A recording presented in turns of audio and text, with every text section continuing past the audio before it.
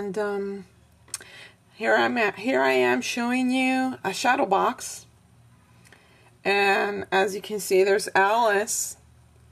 So this is my Alice in the Wonderland shadow box. And just place it here so you can see. No, I do it like that.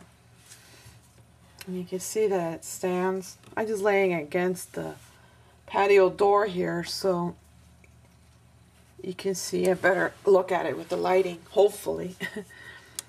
um, this is not too large of a shadow box. It's about 6 by 6 size. And I used Sweet Nectar from K & Company, just one sheet.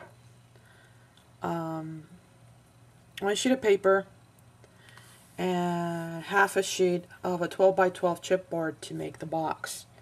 So as you're going to see right here on the sides, I covered the whole thing with the K & Company and sides here.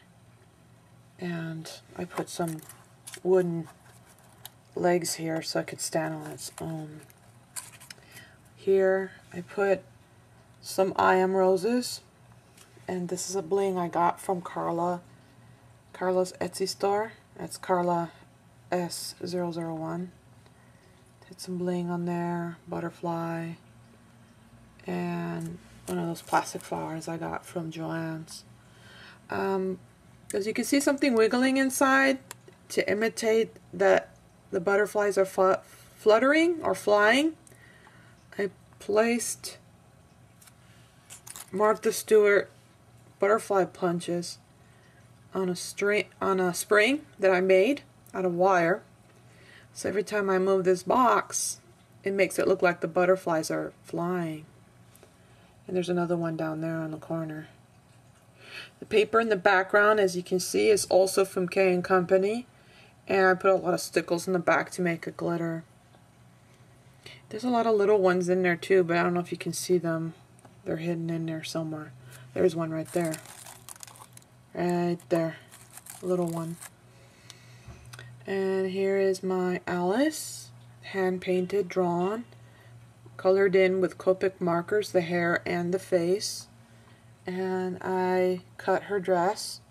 I used a punch to make the lace that's on her blue dress. So there's Alice with her pearl earrings. And I have a, another I Am Rose there in the corner and this is the whole look of the shadow box of Alice in the Wonderland. I decided to do a small version of my shadow of the steampunk fish that I entered on the contest under the sea with Lindy's Stamp Gang, which I won. Yay!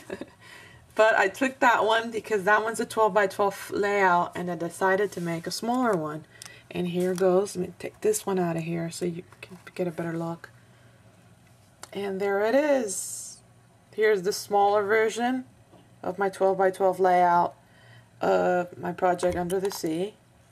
As you can see there, I put another bauble, glass bauble to make a jellyfish. And I used Oops, I put the light on so you can see better. Um, there's uh, the reef with the little starfish. I put on the light so you can guys can see in it because it's so dark. And I covered it all with the crumbled copy paper that I just sprayed down with Lindy's Stamp Gang uh, sea mist and and delphinium blue and there's my octopus made out of paper clay. And I also painted him with Lindy's Stamp products.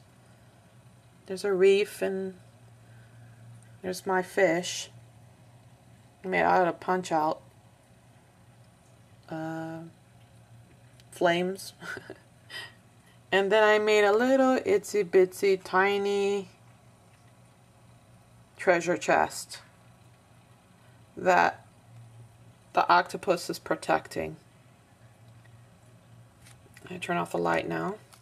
And this is how it stands. It has its feet and the bling and the trim from Carla S001 and I did the whole border with the aluminum foil sorry for the glare there and distressed it and painted and I put some marbles onto the for decoration so that's my smaller version of the steampunk fish. Today I decided to do another um, project using um, my stamps from the Alice in Wonderland collection that I purchased and I made pillows uh, little pillow pillows. I stamped it on canvas cotton duck canvas unprimed and I primed it with uh, matte medium then I stamped the image then I colored it with Copics and Sharpie and all the markers that I can get these colors for then I sew it and then I sew, sew here along the line here um, some beads. It's a lot of work, this uh, little pillow. And then I used wool felt and I did some felting here and here on the crown. Put stickles on the dress and on the crown. This is also felt and this is felt. Then a little bow and there's the pillow of Alice in the Wonderland. Fringed the edges, distressed it, and I painted with a blow pen, red, a pink color blow pen. And I also stamp on the back. This is how it looks when it's not painted and decorated. And this is how it looks done. So I made a little pillow. It's about four inches by one and a half. Then I did an itsy bitsy one of Tweedledee and Tweedledum I also felted to make it look like they're wearing sweaters. And I painted it with Gelly Roll pens that have glitter. Again, I beat it around the edge and I use a red blow pen to paint around the edge. On this one I painted on both sides, but this one is less decorative than this side. My sewing is getting a little bit better. I haven't sewn for a while, but I think it's pretty cool. So these are my own my own embellishments of Alice in the Wonderland. Made out of canvas. Unprimed canvas. Well, I hope you liked my video today, and um, I'll see you the next time. Bye.